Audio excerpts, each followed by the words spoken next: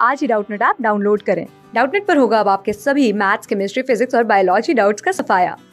बस अपने क्वेश्चन की फ़ोटो खींचो, उसे क्रॉप करो और तुरंत वीडियो सोल्यूशन पाओ। Download now hello student let's go through the question the question is if velocity is given by following function v is then find out the relation between x and t.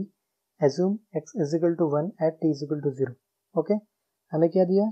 v x square. And at t is equal to 0 पे x का जो value होगा one metre दिया हुआ है। ठीक है? V को हम लोग लिख सकते हैं।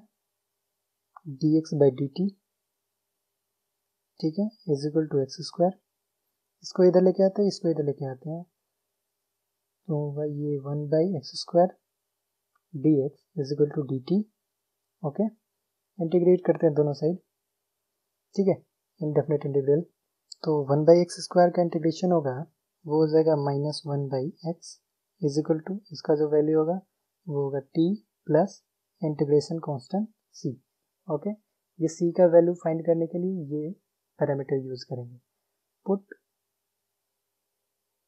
T is equal to zero x का जो वैल्यू होगा वन होना चाहिए okay t is equal to zero इस इक्वेशन में पुट करते हैं, ठीक है?